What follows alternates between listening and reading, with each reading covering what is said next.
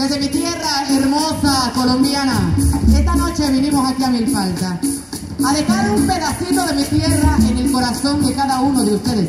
Así que, mi gente que se siente orgullosa de ser mexicana, regálese un aplauso ustedes mismos esta noche, por favor. Un aplauso para ustedes. Y a partir de este momento, Colombia, y esto es Chadi y su sonora.